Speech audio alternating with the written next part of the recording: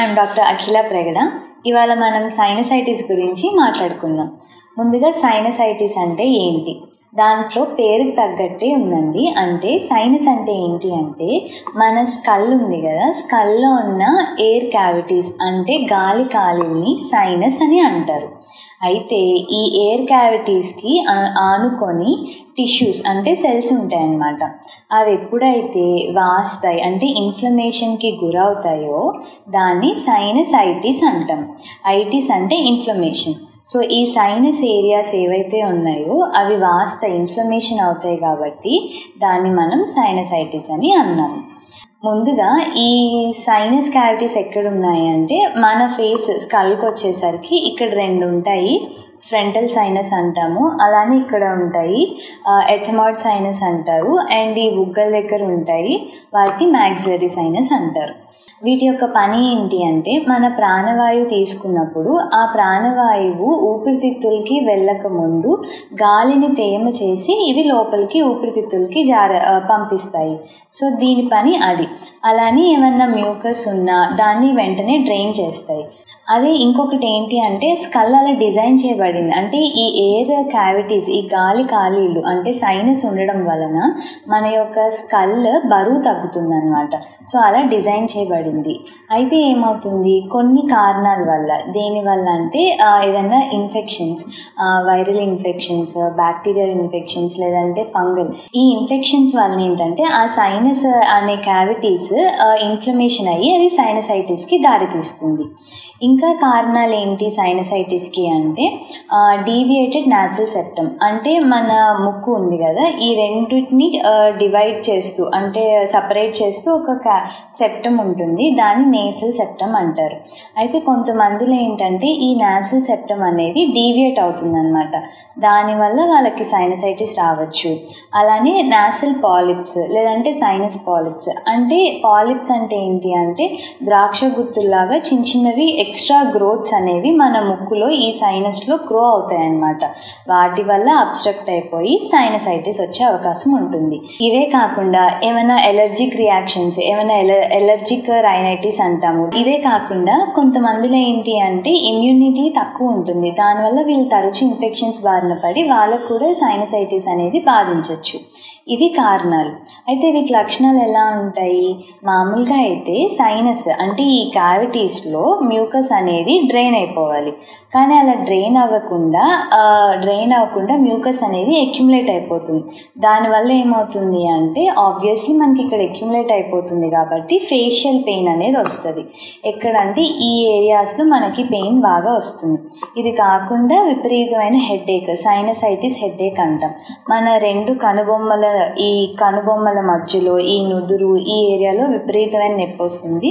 దాన్ని facial pain ఇంకా sinusitis headache అంటాం అలానే ఇతర లక్షణాలు ఏంటి అంటే వీళ్ళకి సరిగ్గా వాసన తెలియకుండా ఉంటుంది. అలానే ఇన్ఫెక్షన్ ఉంటుంది కదా దానివల్ల నోటి నుండి దుర్వాసన వస్తుంది అనమాట అంటే బ్యాడ్ స్మెల్ కూడా వస్తుంది. సో ఇవి లక్షణాలు. ఇంకొక లక్షణం ఏంటి అంటే ఐదర్ స్టఫ్డ్ నోస్. అంటే ముక్కు బ్లాక్ అయిపోయి మనం ఊపిరి తీసుకోవడానికి ఇబ్బందిగా ఉంటుంది. లేదు అంటే రన్నీ నోస్ అంటే కారిపోతూ ఉంటుంది. ఇవి కాకుండా ఈ మ్యూకస్ ఎప్పుడైతే మన గొంతులోకి వెళ్తుందో మింగడం అలాంటివి చేస్తాం కదా ఈ గొంతులోకి వెళ్ళినప్పుడు ఏంటంటే దగ్గు దగ్గు రావడము సోర్ థ్రోట్ రావడము అలా వస్తాయి అన్నమాట కొంతమందిలో క్రానిక్ అయితే కనుక ఫీవర్ ఫెటిక్ అలానే దంత నొప్పి ఈ డెంటల్ పెయిన్ కూడా వస్తుంది.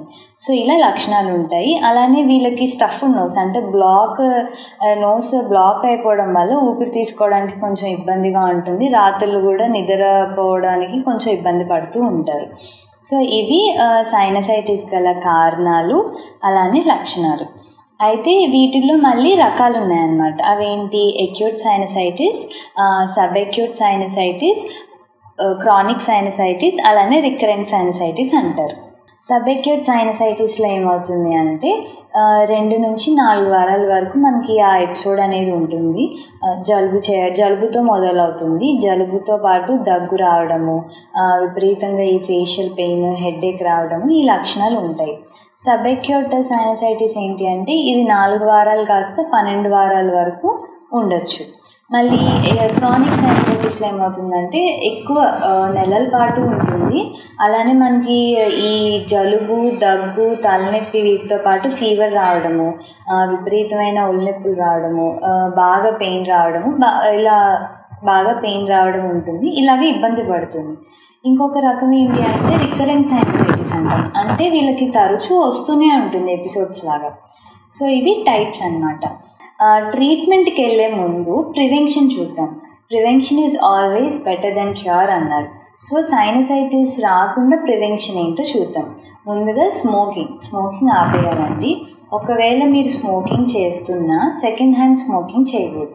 అంటే ఏంటి? మామూలుగా ఫ్రెండ్స్ ఉంటారు. వాళ్ళు ఏంటి అంటే సిగరెట్ తాగి పక్కన ఫ్రెండ్కి ఇస్తారు. మళ్ళీ అదే తాగుతారు. అలా షేరింగ్ చేసుకుంటారు.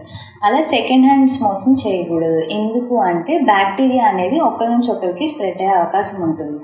సో స్మోకింగ్ ఆపేయండి. ఒకవేళ స్మోకింగ్ చేస్తున్నా సెకండ్ హ్యాండ్ స్మోకింగ్ మాత్రం అస్సలు చేయకండి. ఇంకొకటి ఏంటి అంటే ఎలర్జిక్ ఎలర్జీస్ వల్ల కూడా సైనసైటిస్ వస్తుంది. అంటే ట్రిగర్ అయ్యే అవకాశం ఉంది. కాబట్టి మీకేం పడట్లేదో ఒకసారి చూసుకొని వాటికి దూరంగా ఉండడము వాటిని అవాయిడ్ చేయండి. ఇంకొకటి ఏంటి అంటే చేతులు ఈ ఫ్లూ సీజన్స్లో ఏంటి అంటే హ్యాండ్స్ అనేవి చాలా హైజీనిక్గా ఉంచుకోవాలి. చాలామంది హ్యాండ్స్ హైజీనిక్ లేకుండా ముక్కులు వేలు పెట్టేసుకోవడాలు అలా చేస్తారు. సో హ్యాండ్ హైజీనిక్ అనేది చాలా ఇంపార్టెంట్ సో ఫస్ట్ ఇవి మెయింటైన్ చేస్తే మనకి చాలా వరకు ఈ బ్యాక్టీరియల్ ఇన్ఫెక్షన్స్ వైరల్ ఇన్ఫెక్షన్స్ అనేవి రాకుండా ఉంటాయి. సైనసైటిస్ కూడా మీరు బా సైనసైటిస్ నుండి కూడా మీరు బాధపడక్కర్లేదు. ట్రీట్మెంట్ ఎలా ఉంటుంది సైన్సైటిస్కి అంటే ఆవిరి పట్టడం చాలా ఇంపార్టెంట్ అండి. ఆవిరి తీసుకో ఆవిరి పట్టండి. అలానే వేడి నీళ్ళు లేదంటే గోరువెచ్చని నీళ్ళు తాగడము వేడి పదార్థాలు తీసుకోవడము అంటే ఆహారము కొంచెం వేడిగా ఉన్నప్పుడు తినడం మంచిది. అలానే శ్లేష్లం అంటే మ్యూకస్ ప్రొడ్యూస్ అయ్యే ఆహారాలు తీసుకోకపోవడం చాలా వరకు మంచిది. చల్లటి గాలి లేదంటే చల్లటి వస్తువుని తినడం అవాయిడ్ చేయండి. ఇవి కాకుండా ఇంకొక పద్ధతి న్యాచురల్ ఏంటి అంటే నీటి పాటీ అంటారు. అంటే ఒక టీ పోసుకునే జార్ లాగా ఉంటుంది ఇంతది. దాంట్లో సొల్యూషన్ సొల్యూషన్ ఉంటుంది. ఆ సొల్యూషన్ ఎలాగా తయారు చేసుకోవాలి? బయట శాచెట్స్ దొరుకుతాయి. ఒకవేళ ఆ సొల్యూషన్ మనం ఇంట్లో తయారు చేసుకోవాలంటే non iodized salt baking soda కొంచెం అలానే distilled water tap water use చేయకూడదు. డిస్టిల్డ్ వాటర్ ఈ మూడు కలిపేసి కొంచెం వాటర్ వామ్గా ఉంటే మంచిది. సో కొంచెం డిస్టిల్డ్ వాటర్ వామ్ వాటర్లో కొంచెం కొంచెం ఉప్పు non iodized salt baking soda ఇవన్నీ కలిపేసి ఆ ఆ సొల్యూషన్ ఏదైతే ఉందో నీటి పాటి లేదంటే నేజల్వి వస్తాయి ఎక్విప్మెంట్స్ ఆ నీటి పాటి ఏం చేస్తారంటే బేసిన్ దగ్గర కానీ ఎక్కడ కానీ ఒక నాస్ట్రిల్ నుంచి ఇలా పోసుకొని ఇంకో నాస్ట్రిల్తో వదిలేస్తారు. సో దీనివల్ల ఏమవుతుంది అంటే నాజల్ ఇరిగేషన్ అంటారు అనమాట దీన్ని. లోపల ఏమైనా బ్యాక్టీరియా లేదంటే ఏమైనా ఇన్ఫెక్షన్స్ ఉన్నా క్లెన్స్ అయిపోతాయి. సో ఇది ఒక మంచి చిటక. కానీ ఇది అందరికీ సరిపడా సరిపడుతుంది లేదా అందరూ చేసుకోవాలని లేదు. సైనసైటిస్లో కూడా ఇందాక చెప్పినట్టు టైప్స్ ఉంటాయండి. సో ఆ పర్సన్ని బట్టి మనం ఇది చేసుకోవచ్చు. కానీ ఇది మాత్రం చాలా మంచి న్యాచురల్ ట్రీట్మెంట్ ఇవి కాకుండా మనకి న్యాచురల్గా ఆక్యుప్రెషర్ ట్రీట్మెంట్స్ ఉన్నాయి. ఈ ఆక్యుప్రెషర్ పాయింట్స్ నేను చెప్తాను. ఆ ఆక్యుప్రెషర్ పాయింట్స్ అన్నీ ఒకేసారి చేసుకోండి. ఒక సెషన్లో చేసుకోండి. అలానే త్రీ టు ఫైవ్ మినిట్స్ వరకు చేసుకోండి. దీనివల్ల ఏంటంటే మీకు చాలా రిలీఫ్ వస్తుంది. మీరు ఆవిరి పట్టడము వేడి వస్తువులు తీసుకోవడము అలానే ఈ న్యాచురల్గా ఆ రెమెడీ యూస్ చేయడం అలానే ఆక్యుప్రెషర్ వల్ల మీకు చాలా వరకు ఒకవేళ స్టార్టింగ్ స్టేజెస్ అయితే మీకు చాలా వరకు రిలీఫ్ వస్తుంది. Uh, సో ఇప్పుడు ఆక్యుప్రెషర్ పాయింట్స్ ఏంటో చూద్దాము. మెయిన్ పాయింట్ ఇంపార్టెంట్ పాయింట్ సైనసైటిస్కి ఏంటి అంటే ఈ ముక్కు పక్కన ఉన్న ఈ టూ పాయింట్స్ అండి. పార్ట్ని ఎల్ఐ ట్వంటీ అంటాం. సో ఈ ముక్కు పక్కనే వెంటనే టూ పాయింట్స్ ఉన్నాయి కదా. ఈ టూ పాయింట్స్ని మీ చేతులతోటి హ్యాండ్స్ హైజీనిక్గా ఉండాలి. మీ ఫింగర్స్ తోటి ఆక్యుప్రెషర్ అనేది చేసుకోండి నెక్స్ట్ ఇంకొక పాయింట్ ఏంటి అంటే యూబీ వన్ అంటారు. అది ఎక్కడ ఉంటుంది అంటే మన కనుబొమ్మలు ఉన్నాయి కదా ఇక్కడ ఎగ్జాక్ట్లీ అంటే ఈ స్టార్టింగ్ ఈ కనుబొమ్మలు ఇక్కడ ఉంటాయి ఈ టూ పాయింట్స్ సో ఈ టూ పాయింట్స్ ఈ టూ పాయింట్స్ ఆక్యుప్రెజర్ చేసుకోండి త్రీ టు ఫైవ్ మినిట్స్ చేసుకోండి. ఆక్యుప్రెజర్ ఎలా చేసుకోవాలో తెలుసు కదా మీకు? ప్రెస్ చేసి ఇలా రొటేట్ చేసి వదిలేయాలి. ప్రెస్ చేసి రొటేట్ చేసి వదిలేయాలి. సేమ్ ఈ విధంగానే ఏ బాడీలో ఎక్కడైనా కానీ ఆక్యుప్రెషర్ ఈ విధంగానే చేసుకోవాలి. ఈ టూ పాయింట్స్ తర్వాత జనరల్గా సైనసైటిస్లో హెడేక్ వస్తుంది కదా దీనికి ఏంటి అంటే మన రెండు కానుబొమ్మల మధ్యలో అంటే ఆడవాళ్ళు బొట్టు పెట్టుకునే పాయింట్ థర్డ్ ఐ పాయింట్ ఇది అన్ని రకాల హెడేక్కి బాగా పనిచేస్తుంది. ఇక్కడ కూడా అలానే ప్రెజర్ ఇవ్వండి. నెక్స్ట్ పాయింట్ ఏంటి అంటే జీబీ ట్వంటీ ఇది ఎగ్జాక్ట్గా ఇక్కడ ఉంటుంది.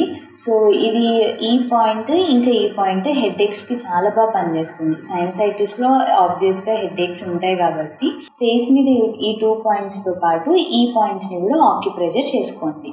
నెక్స్ట్ ఇంపార్టెంట్ పాయింట్ ఏంటి అంటే డాక్టర్ వాల్స్ పాయింట్ అంటారు. ఇక్కడ ఉంటుంది. సో ఇక్కడ కూడా ఆక్యుప్రెషర్ ఇవ్వండి. ఈ ఆక్యుప్రెషర్ పాయింట్స్ అన్నీ కలిపి ఒక సెషన్ లాగా మీరు ఇంట్లో చేసుకోండి. చాలా రిలీఫ్ వస్తుంది. ఇవే కాకుండా ఆరోమా థెరపీలో పిప్పర్మెంట్ ఆయిల్ అని దొరుకుతుంది. ఆ పిప్పర్మెంట్ ఆయిల్ కొంచెం తీసుకొని ఈ ఏరియాస్ మొత్తము మసాజ్ చేసుకుంటూ అంటే ఇలా స్ట్రోక్స్ ఇచ్చుకుంటూ అప్వర్డ్ అండ్ డౌన్వర్డ్ డైరెక్షన్లో స్ట్రోక్స్ ఇచ్చుకుంటూ మసాజ్ చేయడం వల్ల కూడా మనకి ఫేషియల్ పెయిన్ ఆ మ్యూకస్ అనేది డ్రైన్ అయ్యి మీకు సైనసైటిస్ నుంచి దాదాపు రిలీఫ్ పొందుతుంది. ఇవే కాకుండా ఆల్టర్నేటివ్ మెడిసిన్లో చాలా మంచి ట్రీట్మెంట్స్ ఉన్నాయండి. వాటిల్లో చాలా ఎఫెక్టివ్గా ట్రీట్ చేసేది ఆక్యుపంచర్ అవును ఆక్యుపంచర్ చాలా బాగా చాలా బాగా ట్రీట్ చేస్తుందండి.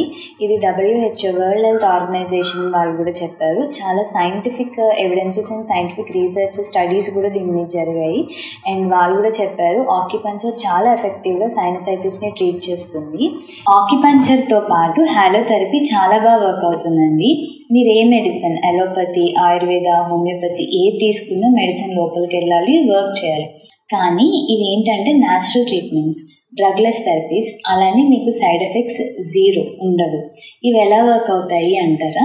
హాలోథెరపీ రూమ్లో హిమాలయన్ రాక్ సాల్ట్ ల్యాంప్స్ ఉంటాయి. హాలో జనరేటర్ ఉంటుంది. ఈ హిమాలయన్ రాక్ సాల్ట్లో ఎయిటీ ఫోర్ మంచి ఎలిమెంట్స్ ఉంటాయండి. జింక్ జింక్ పొటాషియం ఇలా చాలా మంచి ఎలిమెంట్స్ ఉంటాయి. ఇవి ఆ సాల్ట్ రూమ్లో ఆ ఆ ఏరియా అంతా కాన్సన్ట్రేటెడ్ అవుతాయి అన్నమాట ఇప్పుడైతే మనము ఈ మనము వెళ్ళి ఆ రూమ్లో కూర్చున్నప్పుడు ఆ పార్టికల్స్ని పీల్చుకోవడం వలన అవి న్యాచురల్గా మనం ఇన్హేల్ చేయడం వల్ల ఏంటంటే లోపల ఉన్న మ్యూకస్ కానివ్వండి ఇన్ఫెక్షన్స్ని కానీ క్లీన్ చేసి మీకు ఆ ఇన్ఫర్మేషన్ తగ్గించి న్యాచురల్గా సైనసైటిస్ అనేది తగ్గిస్తుంది. హాలోథెరపీ గురించి పూర్తిగా ఇంకొక వీడియో చేశాను. దాన్ని డిస్క్రిప్షన్లో ఇచ్చాము చూడండి. మీకు ఏ ప్రాబ్లం ఉన్నా కానీ ఇలా న్యాచురల్ ట్రీట్మెంట్స్ ఇంకా న్యాచురల్ రెమెడీస్ తోటి తగ్గించుకోవచ్చు. ఇంకొక హెల్త్ రిలేటెడ్ టాపిక్ తోటి మళ్ళీ మీ ముందుకు వస్తాను. Thank you